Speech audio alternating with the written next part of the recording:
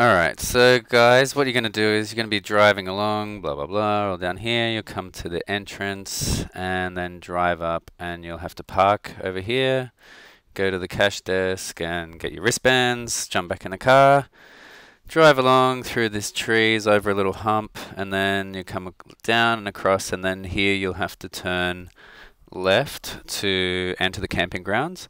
And basically, if you're on foot, you're going to come along and probably continue along this way. If you're driving, then the good thing is to come up this hill. You'll note, you'll see it straight away. It's quite steep, and you're going to come up that hill and drive along the crest of the hill and then just continue along down until you see a big Australian flag. It'll be on bamboo poles about three or four meters uh, in the air, hopefully, and you should see it pretty easily. And basically, if you can't find it, then I'm always trying to get as close to this corner as I can, usually over this side. So just basically keep driving along, come down and find that. Now, if you're on foot, you can definitely go this way too, um, but it might be easier if you just come along and, you know, it's a bit of a valley here. You'll see this hill sort of going up to the side here and a hill going up this way. And then as you come further along, you'll see the first stage, which is Pumpui stage or the cinema stage as well.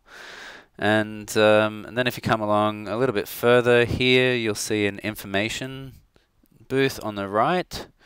And then you'll also see then an entrance going up to other areas like the, um, whatchamacallit, the fucking thing, that's right. And Anyway, basically here you'll see a big long building where you can buy beer and food and all this sort of stuff.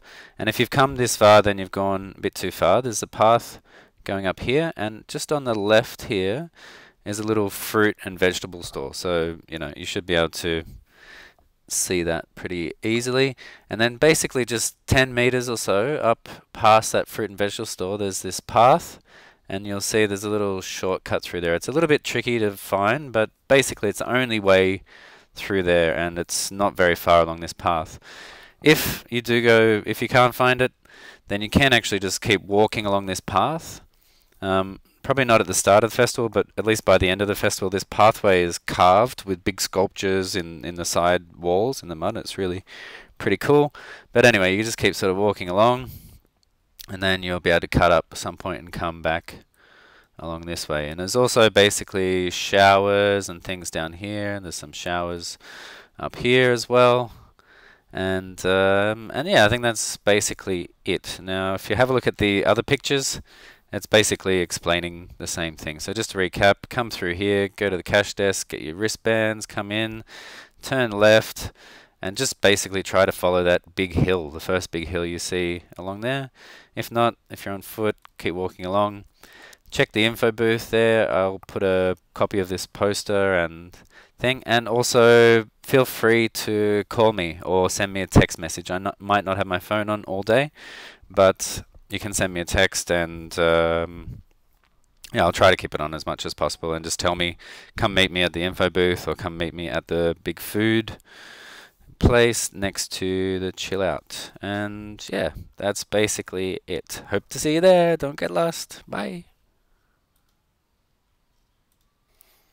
Okay, so this are the other maps that I posted there. This is, um, you know, basically you would have just picked up your ticket down on the on the right here somewhere, and then you'll come up around, turn left into the camping grounds, this road basically continues for artists and stuff like you can't go up there so you have to turn left into the camping.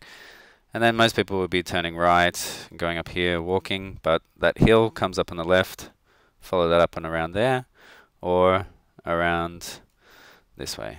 So again basically if you get here that will be the info booth. Here here will be the bar. Here's the chill out.